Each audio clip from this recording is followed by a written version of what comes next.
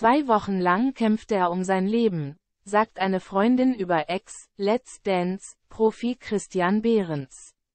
Der Tänzer ist im Alter von 46 Jahren unerwartet verstorben.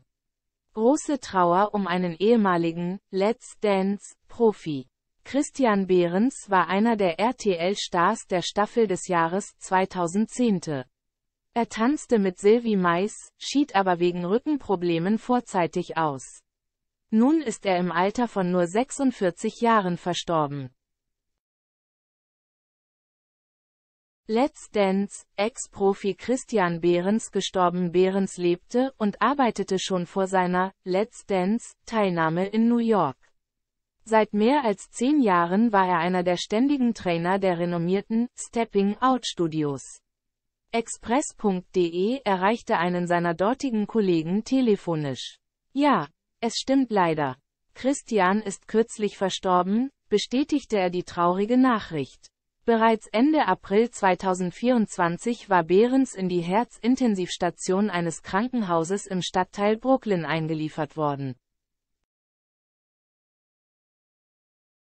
Seine gute Freundin Irena Canova berichtet, er kämpfte zwei Wochen lang um sein Leben, verlor jedoch den Kampf und verstarb am Dienstag, dem 14. Mai.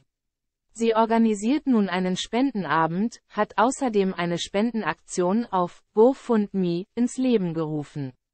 Denn, auch wenn Behrens selbst seit vielen Jahren in New York lebte, dort viele Freundinnen und Freunde hatte, soll er in Deutschland beerdigt werden. Canova weiter, seine Mutter kommt aus Deutschland, um ihren Sohn nach Hause zu holen. Behrens tanzte in seiner erfolgreichen Karriere auch bei der Nordamerika-Tour von Dancing with the Stars, in der spanischsprachigen Erfolgsshow Sábado Gigante, und trat 2008 im Rahmen der Oscar-Verleihung auf. Ich bin so traurig. Du wirst von so vielen vermisst werden, schrieb seine Freundin Wanda Polakova auf Instagram. Die Tänzerin der slowakischen Version von Let's Dance arbeitet ebenfalls in New York, betreibt dort das Big Apple Ballroom Studio. Für Let's Dance kehrte Behrens 2010 kurzzeitig in seine Heimat zurück. Er startete als Profitänzer von Sylvie Mais, die kürzlich in Dessous für FHM posierte, hieß damals noch Van der Vaart, in die Staffel.